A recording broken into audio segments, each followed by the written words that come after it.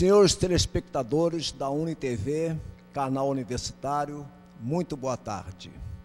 Nesse momento, damos início ao programa do Grupo Mônaco de Cultura e Saúde, que vai ao ar, ao vivo, todas as quintas-feiras, às 15 horas.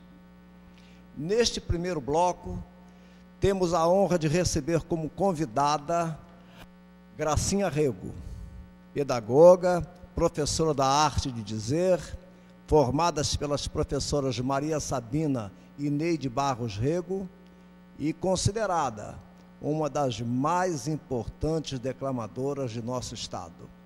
Boa tarde, professora Gracinha Rego. Boa tarde, Carlinhos. Grato pela sua presença. Ah, eu é que agradeço a honra de estar hoje no seu programa sendo entrevistada. Pois não. Fale-me sobre a sua infância. A minha infância, Carlinhos, foi uma infância muito feliz. Eu sou a caçula de 11 irmãos. Infelizmente, hoje só quatro. A minha irmã Luzia está em casa nos assistindo.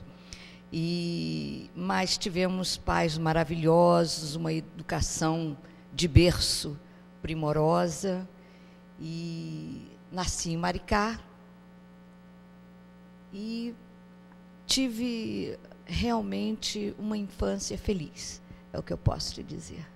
Parabéns pela sua trajetória, pela sua infância, que eu sempre ouvi falar, sempre ouvi falar muito bem de você. Obrigada. E eu queria saber qual a sua formação acadêmica. Carlinhos, eu sou pedagoga, é, sou pós-graduada em tecnologia educacional. Durante 25 anos eu me dediquei à educação e depois fiz um concurso uh, para a Secretaria de Fazenda do Rio de Janeiro. Tive êxito, onde eu fiquei durante 15 anos. Mas a minha origem é a educação, de que eu mais me orgulho, na realidade. Pois não. Como foi seu trabalho na área educacional e também na, na área fiscal?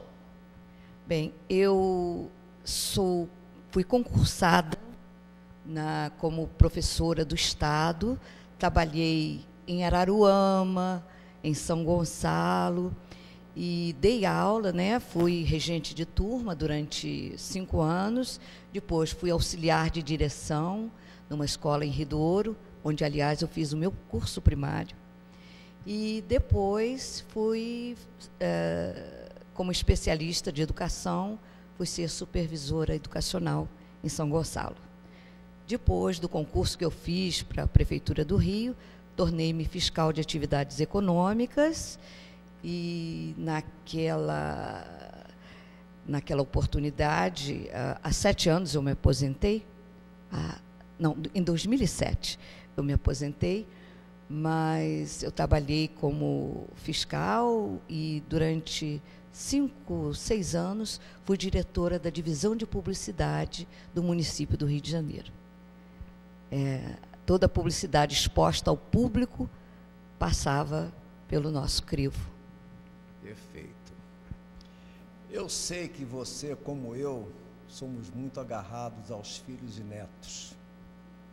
Então, eu gostaria, Gracinha, que você nos falasse sobre a sua família, sua família atual, que são seus filhos e netos. É, é uma alegria falar da minha família. Eu fui durante 34 anos casada com um amado e saudoso Valquir, é, irmão do Valmir, marido da Neide, e tivemos uma vida muito feliz. E dessa união nasceram duas joias, o Alexandre e a Larissa. E eles me deram, junto com seus amados, que são meus dois filhos que eu ganhei depois do casamento, Adriana e Nelson, eles me deram três netinhos. Uma delícia. Guilherme e Marina, filhos de Alexandre. E Júlia, filhos de, ah, filha de Larissa e Nelson. E é uma alegria ter esses netos e esses filhos. É, me sinto muito feliz com isso. Parabéns, a gente nota, percebe assim a sua com a maneira como você é agarrado a, a, seus, a seus filhos e seus netos. Parabéns por essa beleza. Eles também, desculpa, eles também são muito chegados a mim. Ah, dificilmente eles não ligam para mim todos os dias para saber como foi meu dia, para me desejar uma boa noite. E toda sexta-feira eu tenho o dia da bagunça com os netos. O dia que nós vamos para o McDonald's, Donald's e que fazíamos lá uma farrinha. Então é muito gostoso isso. Um belíssimo programa, né, com os netos. É, Gracinha, como e quando surgiu a arte de dizer na sua vida? Bem, bem pequena, ainda no curso primário, eu já era uma menininha muito despachada, como diziam os professores. E eu dizia, recitava versos, né? muito pequena. Depois, no Instituto de Educação, eu, onde eu estudei, fiz meu curso normal, em o Instituto de Educação de Niterói, e quero dizer também que eu fiz o meu ginásio no querido Colégio Brasil, tantas pessoas importantes aqui em Niterói. É e tanto no Colégio Brasil quanto no Instituto de Educação, eu gostava muito de ler textos poéticos. E quando eu conheci o Valquir, cunhado da Neide, aí, como se diz, foi a sopa no mel, porque a Neide já possuía o curso de arte de dizer e ela me incentivou muito a fazer o curso. Eu fui fazendo aos poucos, é, quatro anos, mais ou menos, eu fiz o curso uh, de arte de dizer Maria Sabina com a Neide. Depois fui fazer uh, um ano especial no curso Olavo Bilac, da professora e declamadora Maria Sabina, e onde eu me formei. Eu diria que a Neide me moldou, moldou a, a minha a maneira como eu hoje digo poesia. Ela, é, ela tornou-me uma declamadora. E a Maria Sabina formalizou ao conceder o meu diploma no Teatro Municipal de Niterói, no, na minha formatura. Então, as duas, os dois cursos tiveram importância fundamental na minha trajetória de arte de dizer. Vamos aprofundar um pouco mais sobre a importância do curso Maria Sabina e também do curso Olavo Bilac na sua vida. Então, sinto que houve uma, teve uma importância muito grande em sua carreira, essa, essa belíssima trajetória que você. Então, houve realmente uma importância muito grande na sua vida. Com certeza, com certeza, fundamental. E eu estou aqui uh, com uma querida amiga presente, a Marli Prates, a nossa outra integrante do, cur, do Grupo Nuance, é, de arte de dizer, que nós criamos em 1985. É, a Neide, a Marli, Aparecida, Patrícia, que era uma mocinha, Patrícia Faria Santos e eu. E depois, hoje, somos só nós quatro. A Patrícia teve outros, outras atribuições e, e, e ficamos nós quatro. Então, mas tudo acontece no curso Maria Sabina a Neide é uma pessoa fundamental para que isso daí aconteça e cresça. Né? A, a, a, nossa, a nossa participação em recitais, não é? é em eventos culturais em Niterói, é, em Minas, Juiz de Fora, Barbacena, em outros municípios daqui do estado, tudo é, começa lá no curso Maria Sabina com a nossa querida Neide, não é? Que é a nossa grande, uh, como dizer, ela, ela, ela é a que coordena todo o nosso trabalho.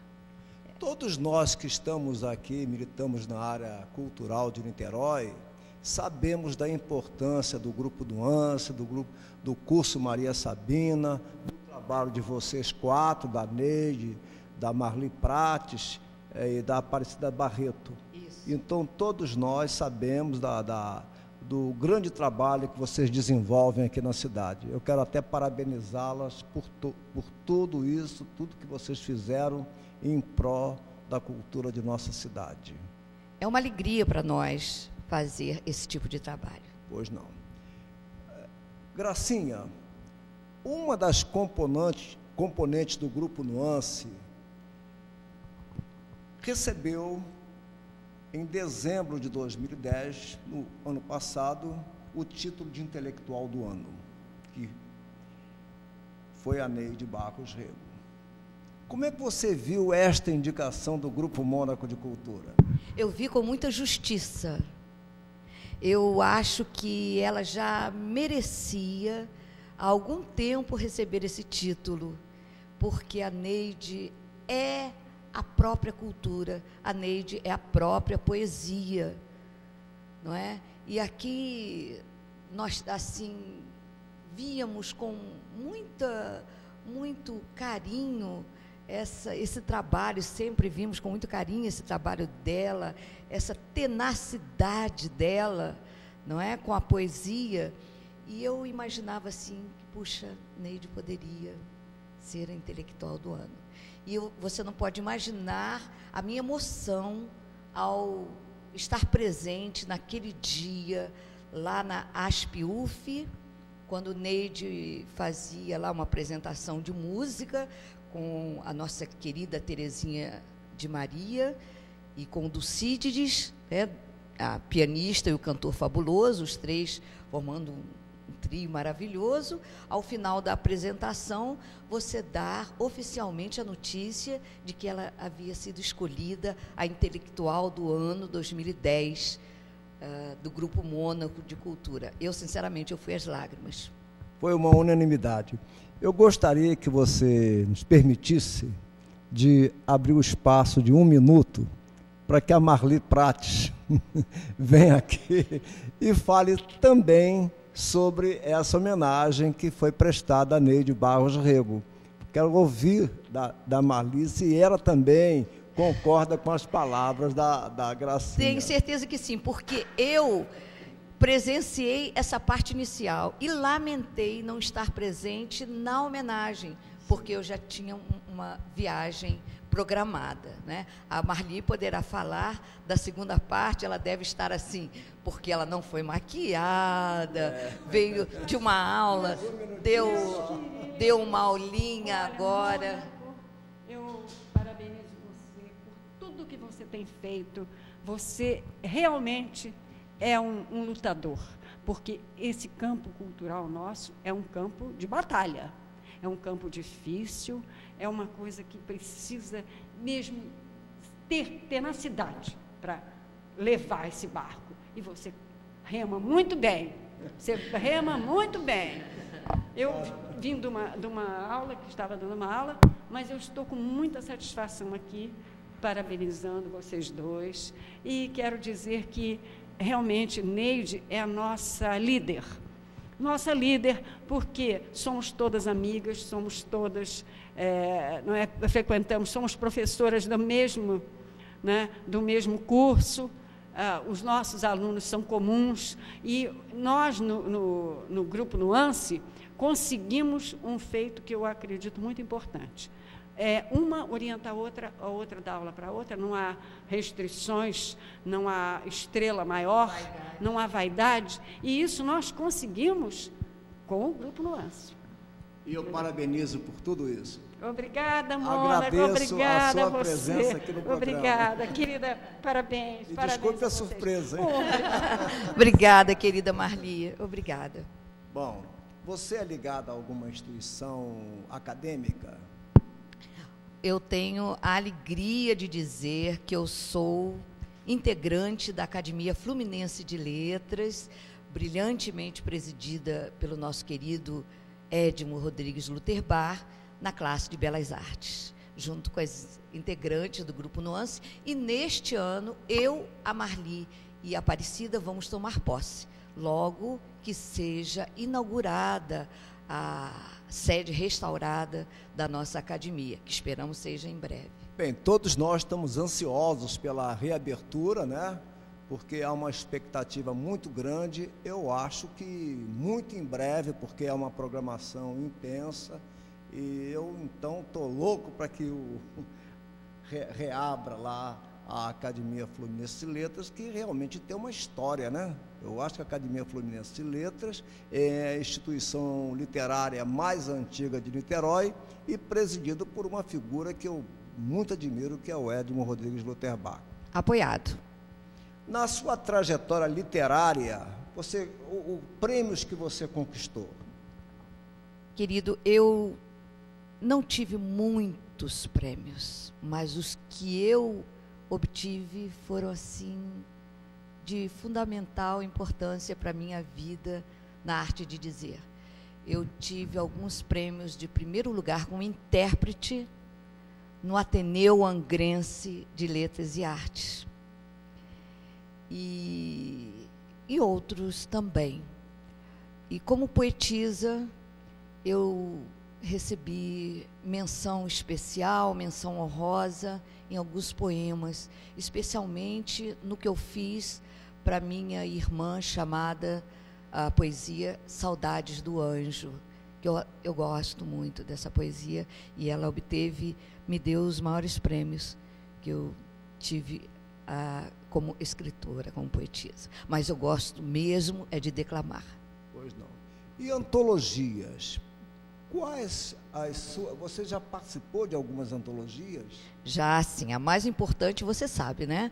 A Água Escondida, escondida da nossa querida, coordenado pela nossa querida Neide, com 234 poetas, e que está sendo reeditado agora no NIT Negócios, né? na web. E, mas eu também participei agora recentemente da antologia do poeta Romildes de Meirelles, na Girassóis para Neuza, que nós fizemos em homenagem a Neuza Peçanha.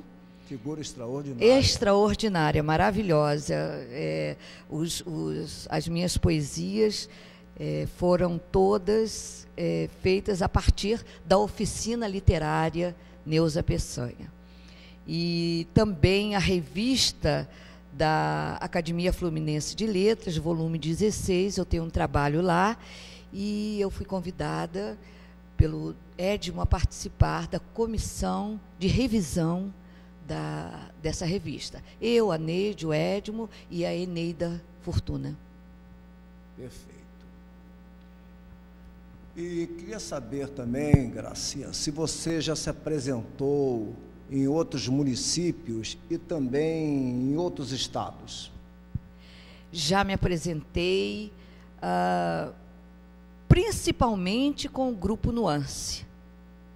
É? Nós no, já fizemos apresentações em Barbacena, terra de Maria Sabina, terra natal de Maria Sabina, é, quando da posse da Neide na Academia Barbacenense de Letras. E nos apresentarmos também Juiz de Fora, é, a convite da acadêmica Creuza Cavalcante, ah, em duas oportunidades. E aqui no estado do Rio, nos apresentamos em várias. É, em vários palcos, em várias salas, na Sala Cecília Meireles, na Academia Brasileira de Letras, não é, no Rio de Janeiro, uh, em salas, aqui em Niterói, é, em, no Teatro Municipal de Niterói, na Academia de Medicina, enfim. e vários... você poderia destacar alguns poetas e, ou personalidades homenageados pelo Grupo Nuance? Ah, com certeza.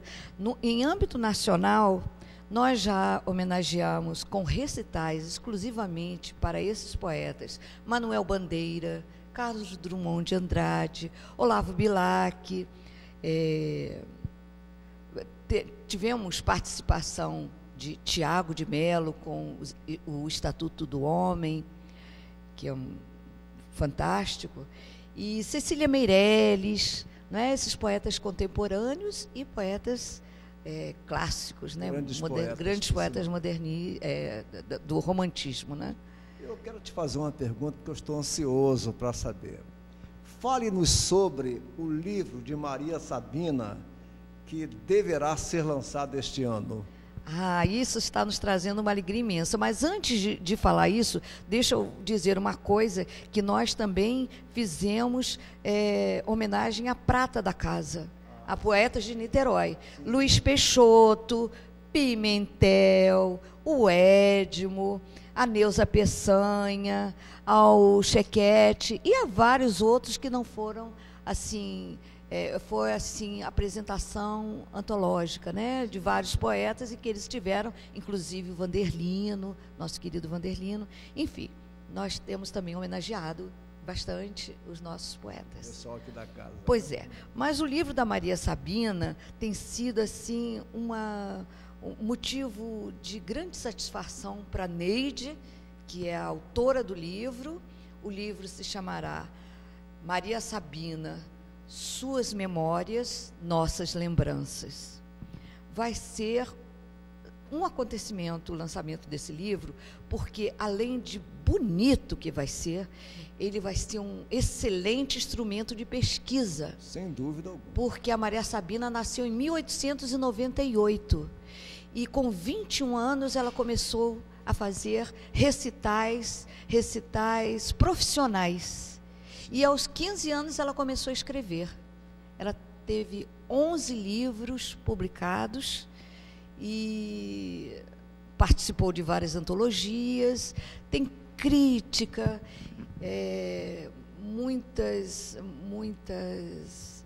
é, haverá uma mostra desses livros que ela publicou nesse que vai ser lançado neste ano do jubileu É, de ouro, é do, jubileu de é, ouro do do curso, curso Maria, Maria Sabina. Sabina. Nós estamos correndo, porque o livro vai ser de um, um livro bem substancioso, não é? Muita, muitas fotos da, da- de época e muitos comentários a respeito de apresentações dela no Brasil inteiro, não é? E, e tem também um, um- um peque- um- uma pequena participação dela como escritora, no, que ela começou a escrever, eu me lembro, e ela foi até os 10 anos de idade. Infelizmente, não pôde continuar, ela faleceu aos 92 anos. Ela começou a escrever, se eu, se eu não me engano, em 1988 aos 88 anos. Aos 88 anos. E te- é, é- é- é delicioso ler esse Eu Me Lembro. Ela morou aqui em Niterói, ela nasceu em Barbacena e aos cinco anos ela veio para Niterói, morou na praia de Caraí, num casarão ao lado do casarão do Nilo Peçanha, que viria a ser ah, presidente da República. Então Mais tarde. teremos esse ano aí grandes comemorações em torno Teremos. da Maria Sabina. Teremos O sim. Centro Cultural, repito, comemora o seu jubileu de ouro. o seu jubileu de ouro e muito bem comemorado, porque o, o- a Neide é realmente uma pessoa que faz da cultura em Niterói o seu grande espaço. Realmente, o trabalho que vocês desenvolvem, né, é um trabalho que todos nós aplaudimos de pé. Gracinha, eu gostaria que você colocasse as considerações finais. Pois não. É, antes de terminar, quero dizer que no sábado, agora dia 19, haverá um sarau em homenagem ao Dia Internacional da Mulher, no Centro Cultural Maria Sabina, às 18 horas, Rua Santos Moreira, 52, Casa 15. Vai ser de música e poesia. Bom, eu quero agradecer a, a essa a- a- apresentação, essa entrevista, muito a você, Carlinhos, essa oportunidade e gostaria de falar um, um- pequeno trecho de uma poesia de Maria Sabina, encerrando a minha, eh, a minha entrevista nessa tarde. Eh, Chama-se Viver, a poesia, e ela dizia assim: Vida, agradeço o que me tens dado, mais que os outros, acaso mereci? E olhos volvendo para o meu passado. Agradeço tudo o que já vivi. Muito bonito, muito grato pela sua presença, Gracinha Rego, aqui no nosso programa. Dia 22 de março, busto de Luiz Antônio Pimentel na Sociedade Fluminense de Fotografia. Estaremos lá para aplaudir esse grande historiador, grande acadêmico e grande nome aqui da nossa cidade. Dia 24, almoço no bistrô do MAC, com representantes de instituições literárias e também da Secretaria de Cultura e da Fundação de Arte Interói, para tratarmos do Jornal Literato número 5. Dia 25, o Senaco Fluminense História e Letras promove com várias instituições a abertura do Ano Literário em Niterói, às 18 horas, no Clube Português. E dia 28 estarei sendo homenageado pelo Rotary Club Região Oceânica em Itaipu, com jantar pelo Dia do Livreiro. Muito merecido, e, muito merecido. Muito obrigado. E dia 29, 99 anos de Luiz Antônio Pimentel. O nosso querido Pimentel. Então, agradeço a presença da professora Gracinha Arrego em nosso programa e despeço-me agradecendo aos telespectadores. O segundo bloco terá o comando da nossa queridíssima e acadêmica psicóloga Elizabeth Duale. Muito obrigado a todos.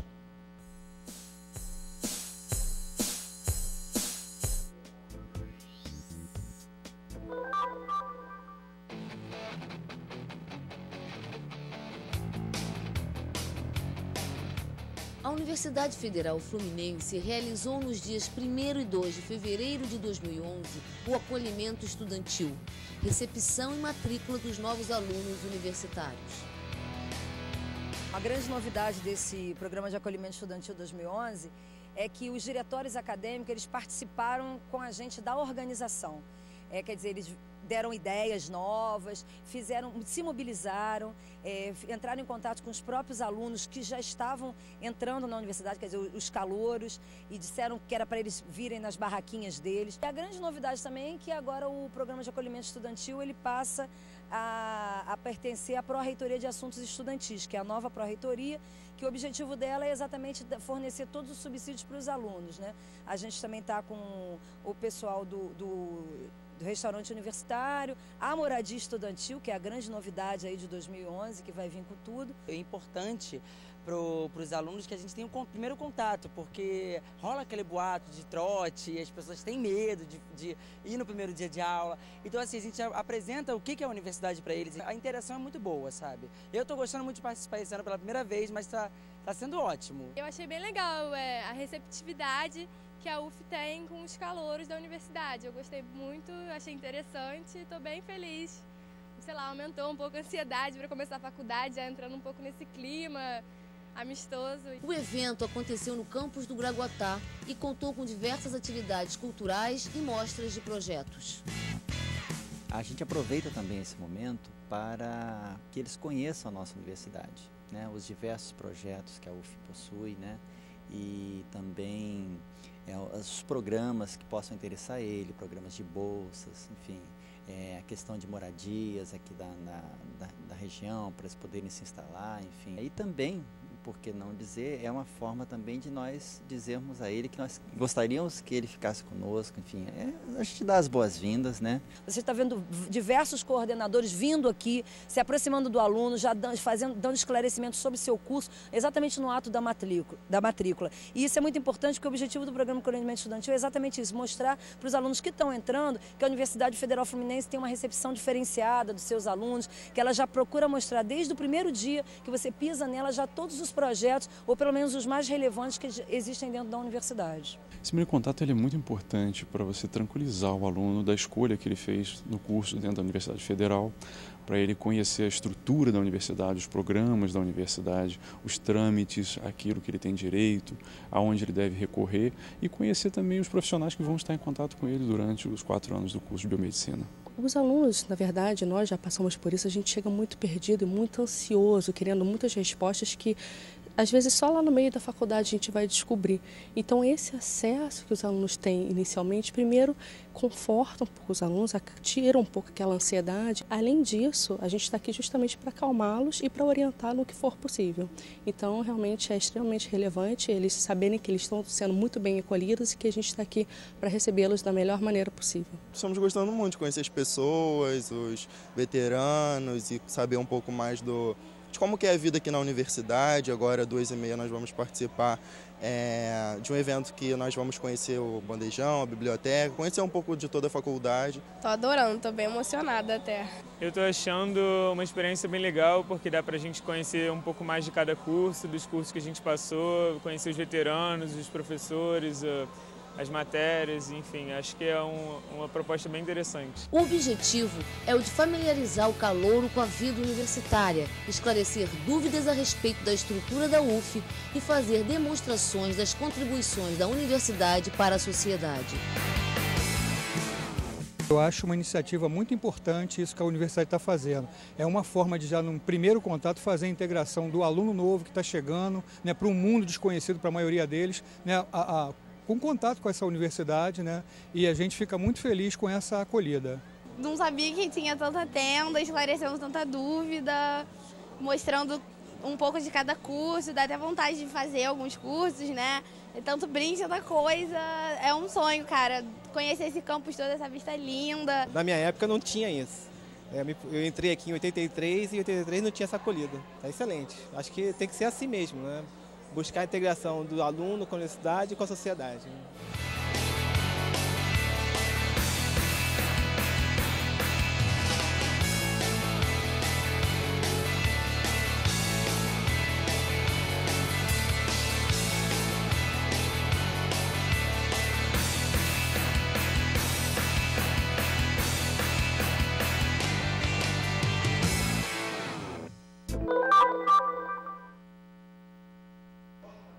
Tarde para você. Estamos aqui com mais um Bem-Estar e Saúde. E hoje com uma pessoa muito especial, de uma sensibilidade muito grande, uma pessoa que tem muito a nos falar sobre a vida, é, sobre a beleza das emoções de todo ser humano e muito sobre o amor né? até porque ele fala do amor de uma forma muito objetiva, muito direta, passa uma emoção muito vibrante. Então eu quero desejar as boas-vindas a você, Roberto Matoso. Obrigado, Beth. Né? Que é uma pessoa que já me inspirou muito a respeito de tantos temas né? Ouvir você dizer a sua prosa poética nos deixa, nós, espectadores, é, numa plenitude de viver muito bonita. Né? Bom saber disso. É, porque você é uma pessoa que eu diria sem pudores, no sentido de revelar-se né, muito objetivamente para todos que estão à sua volta. E isso é algo que só acontece com pessoas que já trilharam um caminho, um caminho longo, um percurso longo, acima de tudo no conhecimento de si mesmo. É verdade, por aí né? E eu quero então te perguntar, quer dizer, como é que da onde isso vem, nessa né, forma de falar dessa maneira e de revelar o que se sente? Né, com tanta plenitude? Ah, eu acho que vem primeiro do berço né, em que eu nascia. As minhas duas famílias, família paterna e materna, respiravam arte, poesia e música. Todos, todos os meus tios, minhas avós. Eu tenho um tio que é poeta também, uhum. por parte de mãe. E uma tia, Gilda Matoso, que é minha madrinha também, que foi a última esposa do Vinícius de Moraes. Então, quando eu era adolescente, já escrevia, eu já escrevia meus poemas, tive a oportunidade de visitar o Vinícius Moraes e a minha tia na casa deles. Então, quando eu nasci, meu, meu pai fez versos, fez poema longo, registrando a emoção do meu nascimento, que mais tarde, entendendo, eu, eu li aquilo, até hoje eu leio com muita emoção também. Então, a influência cultural da minha família foi muito grande, é natural para mim expressar emoção através das palavras. Foi natural. Né? Até porque você vê, você já veio ao mundo com seus pais expressando o amor por você em palavras, e não só em palavras, mas em sentimentos, na medida que isso foi sendo levado ao seu conhecimento. Né? Porque às vezes a gente faz um poema para uma pessoa e para outra, mas muitas vezes não se revela nem para essa pessoa que a gente escreveu o que a gente escreveu sobre ela. Ou o que a gente sentiu sobre ela. Já aconteceu comigo também. Nem, todas, as, nem todas as musas souberam dos poemas que eu fiz para é, ela. Então veja como é que você foi recebido na vida, né, pelos seus pais. Isso faz uma diferença também. É um privilégio e né? é um também privilégio. Muito amado, desejado, né? Eu ouço histórias que eu fui o primeiro neto homem da minha avó que já tinha seis netas mulheres, então esperado, primeiro filho dos meus pais, então tudo isso aconteceu também. O amor veio principalmente na prática, mas veio também na palavra escrita e falada. Né? Pois é. Mas então me fala um pouco dessa trajetória aí já feita no sentido de você ter no início da vida ter tomado consciência de que você tinha essa sensibilidade né, esse talento, esse dom, e como foi dar um encaminhamento para isso? Perfeito. É, eu acho que era um dom natural. Com oito anos eu fiz meu primeiro poema na escola para uma menina que eu era apaixonada. E ela, ela sabe de cor até hoje. Ela é casada, tem filhos, encontro. Para minha surpresa, ela sabia de cor até hoje. Foi uma emoção. Uhum. Com 12 anos eu fiz minha primeira letra e música, homenageando também a pessoa querida. E então era natural. Depois eu fui ousando falar meu, meus poemas e músicas em lugares protegidos. Serestas de amigos, saraus, família, encontros literários que minha mãe promovia. Uhum. Depois em, em cafés de poesia que um tio meu poeta promovia. E vendo ali a receptividade do público, e com muitos anos de terapia e fé, né, eu me permiti começar a falar a minha, a minha arte para outras pessoas quando eu via que ajudava elas também, que era universal, que eu vivia, que fazia sentido para elas e às vezes levava alegria para alguém que estava num momento difícil, levava esperança para alguém que estava num momento de desesperança. Aí eu vi um valor grande. Né? Você acha que a terapia então teve um papel importante na sua trajetória? Ah, eu tenho certeza, porque foi só a partir da análise e foi trabalhando na análise que eu ousei dizer, não, essa, essa arte então vale ser falada em público. Eu lembro de uma sessão em que depois da sessão da terapia, eu ia me apresentar num colégio, na abertura de um uhum. colégio, e o terapeuta falou: "Vai lá, boa sorte". Era um terapeuta muito ortodoxo, conservador, ele não costumava falar isso, mas naquele dia eu acho que ele sentiu a importância para mim, o desafio que estava sendo falar para pessoas desconhecidas né? Porque tem a questão, uma coisa é escrever, outra coisa é memorizar. Será que eu vou esquecer? Será que vai me dar um branco? Ou será que vai fazer sentido para os outros? Vai acabar e será que as pessoas vão bater palma, gostar? É, e será que eu vou ser capaz de dar emoção às minhas vida, palavras, de dar vida a isso? Um sentimento já é. vivido. Né? E você acha então que o processo terapêutico ele te libertou mais? É, eu tenho certeza, eu até uso essa expressão que a psicanálise para mim foi uma libertação. Então eu contava muito espontaneamente para as pessoas, estou fazendo psicanálise, eu tenho muito de sonho, é interpretado, e algumas pessoas me olhavam com estranheza, como assim, deve ver que ele tem algum problema, mas não, eu acho que foi a terapia também é um processo que ajuda a alavancar os nossos potenciais, Com não certeza. só tra tratar de dificuldades ou de problemas, né? alavancar mais ainda, porque a nossa educação é muito boa em alguns aspectos, mas trava, uniformiza. É, e até que ponto essa narrativa da nossa própria história, né, no processo terapêutico, ela nos dá a oportunidade de conhecer muitas coisas que nós não conhecemos a nosso respeito.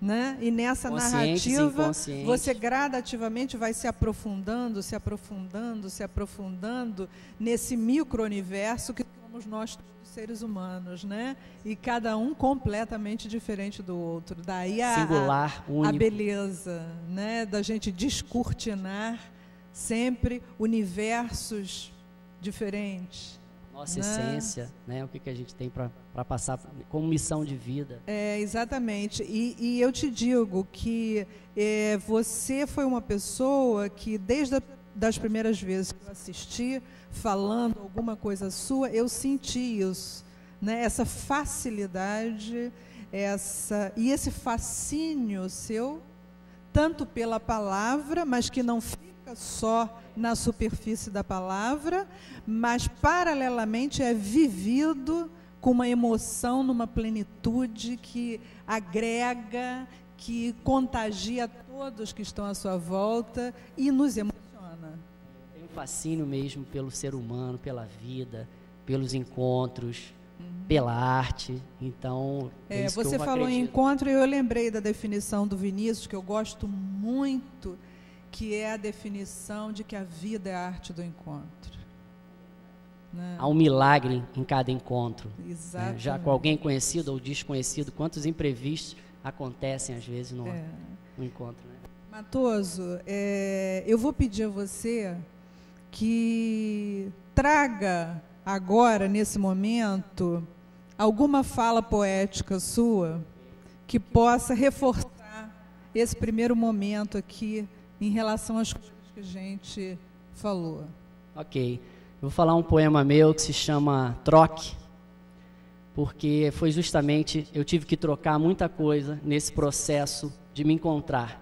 Uhum. E eu vejo que isso também vale para muitas pessoas nas empresas. Eu tenho falado esse, esse poema regularmente na Universidade Petrobras, em congressos de recursos humanos, e tem sido uma mensagem relevante. É, e acima de tudo, eu acho que na coisa da troca e na coisa do ganho, tem sempre, gente, o, a coisa da perda, né? Quer dizer, para que você conquiste alguma coisa nova, uh, você tem que abrir mão de muitas coisas que estão ocupando um lugar ali, né?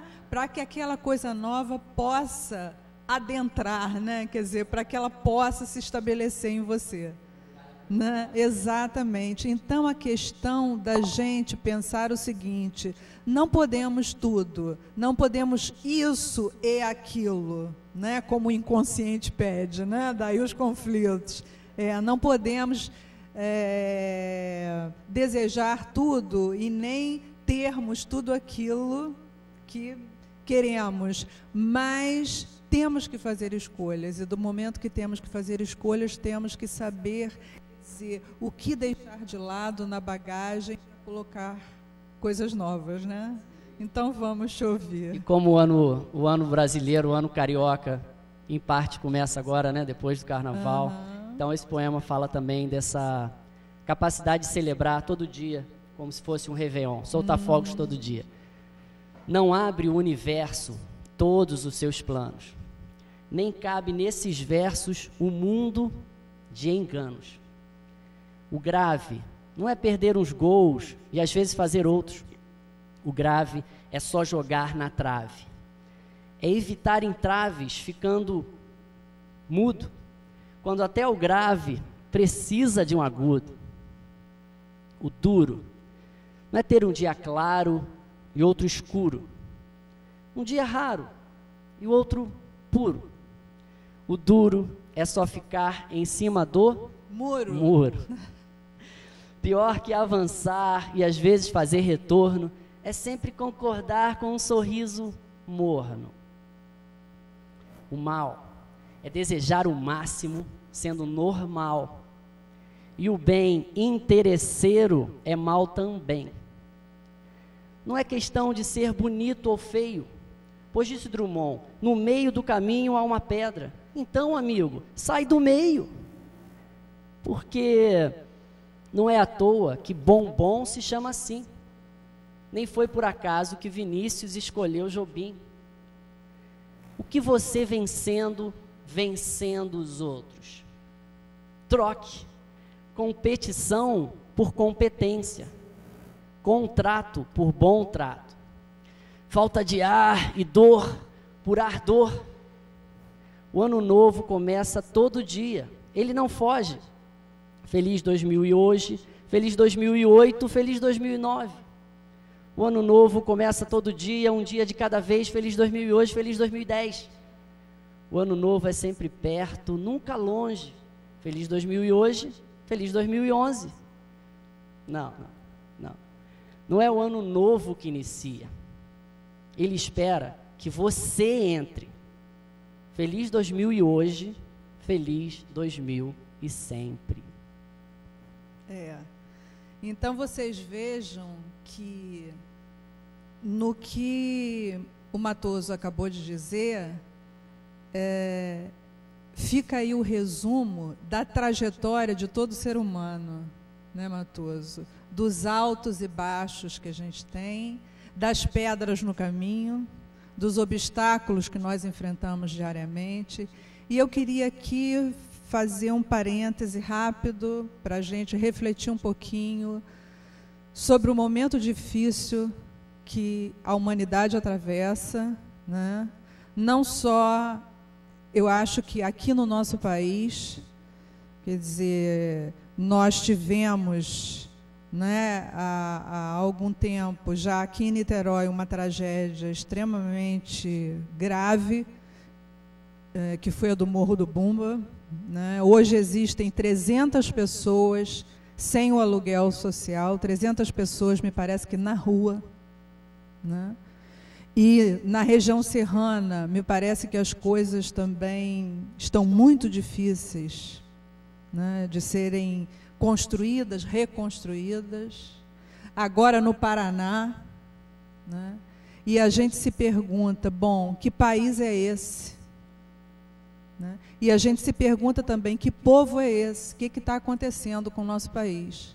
Né? Se fala em volta da CPMF, né? e a gente assusta, o povo está muito assustado com esse desleixo né, da coisa pública, né? onde as empresas privadas, de certa forma, porque têm o poder econômico aí muito potente, dão as coordenadas. E eu acho que, acima de tudo, a gente está falando em poesia, mas a poesia, ela dessa forma tão delicada, tão sensível, nessa forma a gente diz as verdades profundas, os anseios, as fomes profundas de todo ser humano. É, exatamente. Como nós necessitamos do olhar do outro, como nós necessitamos do amor do outro, da solidariedade dos nossos semelhantes. E como não se pratica isso, né? Como nós estamos naquele vai e vem da sociedade consumista, onde não há vez para o amor, não há vez para a solidariedade, não há vez, como o Matoso falou, para a competência. Né? Só se dá vez à concorrência. Haja vista as licitações aí espúrias né? que o nosso governo pratica, infelizmente. E indo mais além, hoje estamos num momento sério para o mundo todo, onde o Japão, né, uma potência do nível que é, sofre desesperadamente, né, exatamente, é, eu acho que por ter tido uma tecnologia muito avançada, um progresso né, a olhos vistos, e olha no que isso está se transformando agora. Então eu acho que acima de tudo é hora sim, é hora do ser humano parar, observar e avaliar. Bom, aonde essa tecnologia toda está nos levando? Né? O Japão, um país em que os terremotos aconteceram sempre com muita frequência, as construções, na sua maioria, todas à prova né, desses abalos sísmicos. E nem com isso essas usinas foram preservadas de, dessa catástrofe. Então a gente se pergunta, né? Que tecnologia perversa é essa que o ser humano usa para se autodestruir? Então eu acho que acima de tudo, nós todos como seres humanos devemos nos perguntar para que possamos compreender melhor o que, que é isso que o ser humano tem no seu âmago, que ele, ao mesmo tempo que quer muito e deseja muito construir, às vezes acaba se autodestruindo. falou de vai e vem Aham. e exatamente dessa situação me lembrou de um poema também que se chama Você ao Vivo, Uhum. que é o convite, eu acho que você fez aqui, esse poema faz também. É um convite para você também, espectador, de uma longa viagem de 20 centímetros, da mente para o coração. Uma viagem com V maiúsculo, uma viagem com vários Vs. Esse poema tem as palavras começando com, letra, com a letra V. Vá, viaje e voe, mas volte. Volte com a visão da vida mais vibrante. Vá no vento valente em busca da verdade. Vá, mas volte com vontade. Vá, visite o Village, o Vaticano, os verdes vales, vasculhe vitrines, venda o que for velho e volte com o que for vermelho. Vá, mas não vá em vão, não vá no vácuo, no vazio. Vá, mas leve minha voz de poeta vadio e volte, queimando o pavio. Vá mais leve, vaporize a neve com o calor dessa veia de escritor que te escreve com amor de quem vive o que deve. Vá, mas volte em breve. Vá, mas na curva da vírgula vire o vértice, pois vincular-se é verbo para quem diverte-se. Vá, veja tudo que tiver, mas volte para eu te ver, sabendo que no meu dicionário acabaram as palavras com V, mas no meu vocabulário sempre lembro de você. Valeu, valeu. Matoso, é, vamos deixar aqui hum, já uma divulgação do trabalho que a gente está querendo fazer para esse ano, que é um roteiro. Desde o ano passado que eu já estou planejando esse roteiro, que é o Falando de Amor. Falando de amor. Né? Não tem tema melhor do que É, isso, né? e a gente conversando agora antes do programa, eu tive a oportunidade de fazer o convite ao Matoso Uhum. para que a gente possa Alinhavar, né? Alinhavar Costurar a isso, é, os textos, exatamente. isso. E ele aceitou. Então, esse ano, talvez a gente possa Perfeito. apresentar esse trabalho, né? E vai ser muito bom. Eu grande tenho estilo, certeza. com certeza. Então, olha só. Nós vamos agora pedir ao Roberto Matoso, lógico, que ele não saia daqui sem, no violão também, Aham. né? Uma música de minha com autoria. Uma melodia e uma música da autoria dele, para que a gente possa refletir de forma mais abrangente sobre tudo isso que a gente colocou aqui. Isso aí. Certo? E fechando com tudo que foi falado, né? O Aham. título dessa música pode ser O Verso é Sim, Aham. no sentido de um sim para a poesia, um sim para o verso, né? Uhum. Para a arte. E tem o título também mais conhecido que é Quando a Lua Cheia Chega. Uhum. Bom. Ótimo.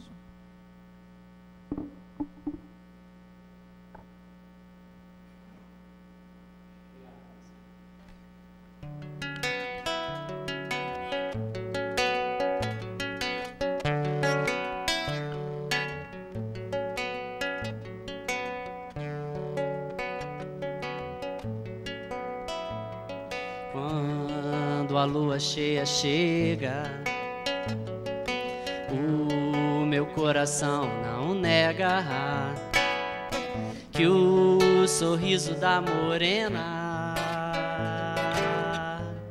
também tem uma luz plena.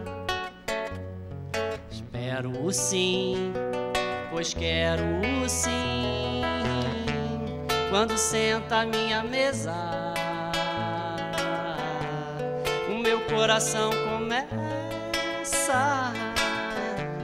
a bater com muita pressa. Quero logo a sobremesa, apresso o fim, confesso sim eu vou.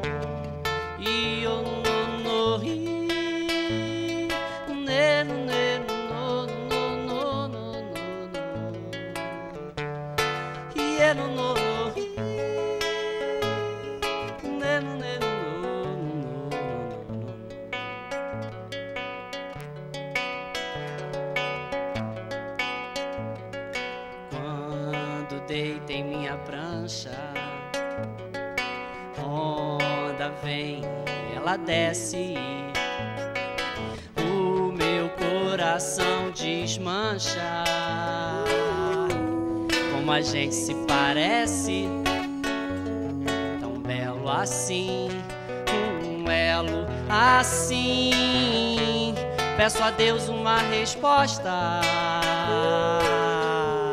uma vida eterna festa. O meu coração aposta. Acho que a hora é esta.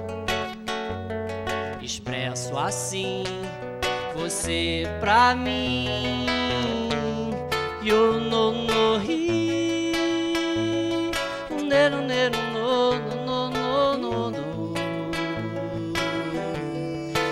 no no no nero nero no no no.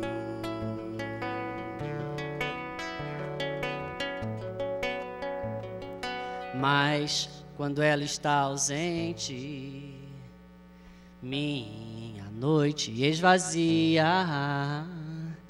O meu coração presente nasce então a poesia. O verso é sim, e até o inverso é sim. Converso sim, conservo sim, e descubro que coragem vem de corações que agem. Quero mais que a Com sua Roberto imagem. Matoso, sua poesia, sua música. E até a próxima quinta-feira com vocês aqui no Bem-Estar e Saúde. Até o fim eu não, eu não, não, não, não ri. Não, não, não, não, não, não, não. E eu não, não ri. Não, não, não, não,